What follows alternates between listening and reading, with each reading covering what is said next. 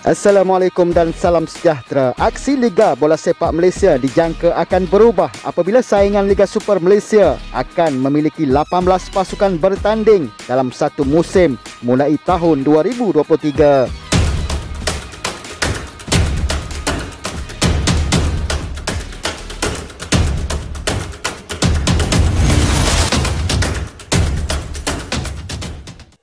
Perubahan bilangan pasukan ini dikatakan akan menambahkan lagi seri perlawanan dalam Liga Super selain pasukan yang bertanding akan menerima lebih banyak perlawanan Liga dalam satu musim.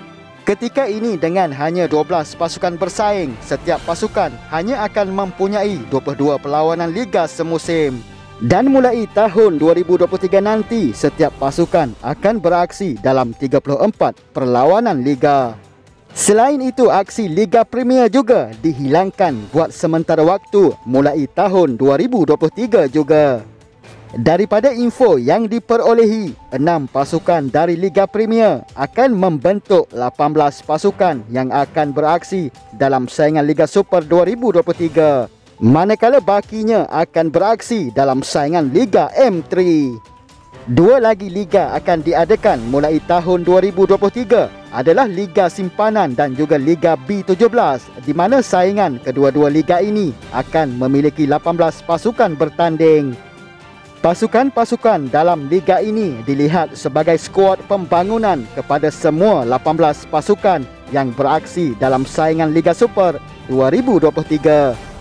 Ini adalah gambaran secara ringkas bagaimana perubahan dalam aksi bola sepak tempatan Malaysia yang akan berlaku mulai tahun 2023.